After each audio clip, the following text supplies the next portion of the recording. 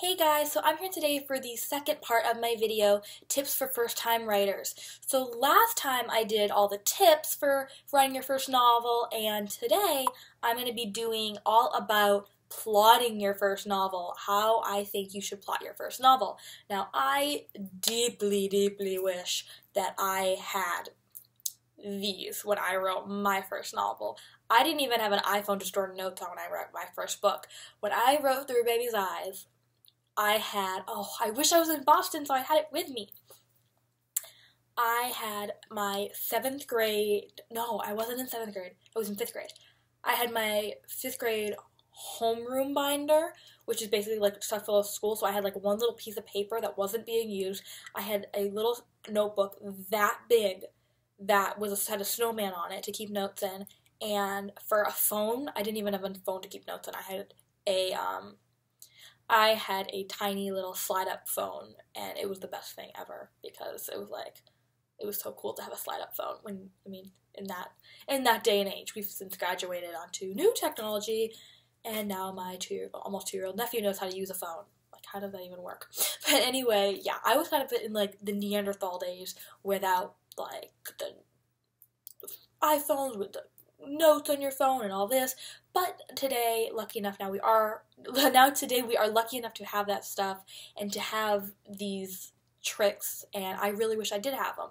Obviously, from all the rambling I've done. Um, being in school, I've been in school just about three months now, and although it's like not that much time, I have learned so much. Um, I'm plotting out my first screenplay right now. We start writing it on Thursday, I'm pretty sure Thursday, and um, I I'm gonna share some of the things that I learned with you guys that I think would be super super important for writing your first novel.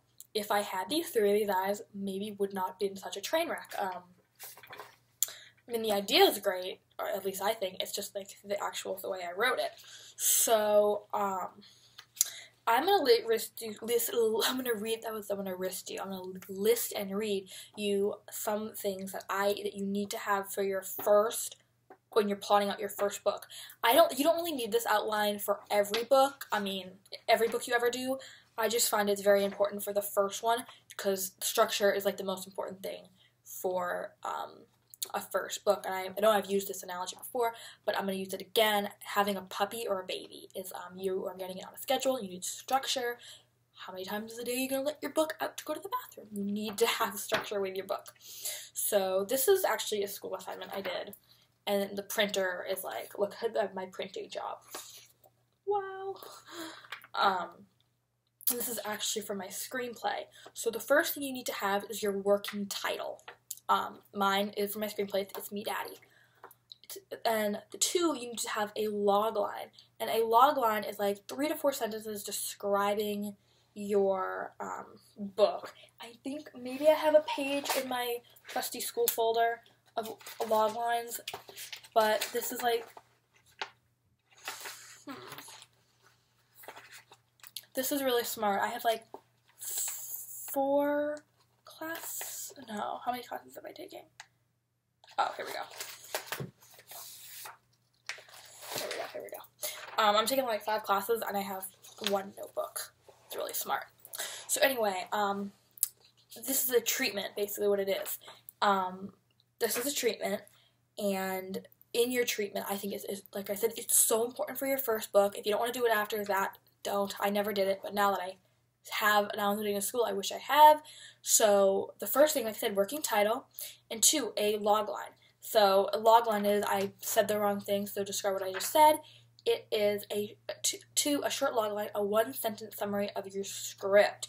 So the second thing in your treatment or your outline, my school calls it treatment, I call it outline. It's the same thing um, is a log line. I am very bad at writing log lines because I've just started. It's something I'm learning. So it kind of shows that you can write however many books you do and you can still be really bad and inexperienced at some things. Um, three, you write an introduction to key characters. Very important. Um, this is just for you. Like, no one's to see this, so it can be as bad as you want it to be. Um, you can see here, my key characters are listed right here. I have um, Fletcher Kendrick, and it just says Man Who Finds Baby in Woods slash raises her. And then I have Alexandra Kendrick, Lexi, Baby. Addison Telford, Lexi's mother, so on and so on. Key characters, brief description. If I was writing Hope, I would say main baby, main protagonist, uh, anything. Um, four, it should be who, what, when, why, and where. Meaning, do we have that right here? Yeah, who is the protagonist? Um, when and where does it take place? What is the goal? You should have those listed so you know. I just realized I just scratched right here and it's all red. That looks good. Cover that up. See, I don't have guinea pigs anymore, so I'm not used to I do have guinea pigs, but I don't have guinea pigs living with me anymore. They're all in Boston, so I'm not used to having little scratches. But wait three weeks when I'm home, or wait two weeks when I'm home, they'll all be there. Um, why? Why is the goal, and where is it? Um, five. Act one. Act one should be one to one to three paragraphs. Set the scene. Dramatize the main conflicts so this is Act 1 in my crappy printing job. This is Act 1, so it's right there. And this is everything, and it goes into here. And that's just everything listed, and um, I had to do this in one night, but obviously if you're writing a book, there's no deadline. So you can just basically write down what you want to happen. You can just take whatever time you want. Even the smallest thing, like a little one sentence like, sorry, I'm like recording the Santa Claus 2 and it just turned off. What the heck? Um, so yeah, just put it down, everything you want to happen in Act 1. Act 1 should, is like obviously the first part of the book. Um, two, six.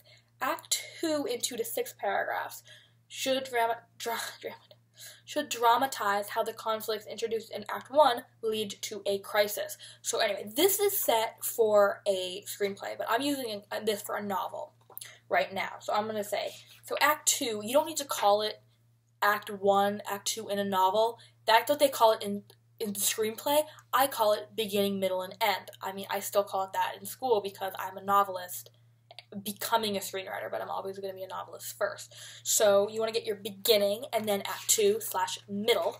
You want to be the crisis leading to it, what's going to happen. You just you don't need full sentences even, just choppy little things, everything you want to happen, and mainly, I find it's important just to keep track so you don't forget things because. Let me tell you, trying to fit all of your book ideas in one brain all of a sudden it's which character is this and i and you're calling Alexis Aria and Michael Blair, and you're like, which who? And that's what happens. Trust me. Um, it's like when you're calling your kid the wrong name. And then Act Two or middle. I just have all the papers right here. Don't mind me. If I could, if I could figure out how to edit my videos, I swear they would not be this bad. And then seven, Act Three slash End in one to three paragraphs. Dram- dramatize the final conflict and resolution. I must have dramatize. I'm hanging around. I'm t- I talk to a Canadian best friend too much. Um, dramatize the final conflict and resolution. So yes. Um, also in the end slash act three, you to get the climax, the false climax slash twist. Um, real climax if you're writing a R-rated book. Um, anything you got to get that like twist and then the resolution and or cliffhanger if you are writing a book like that. So that's what i would do.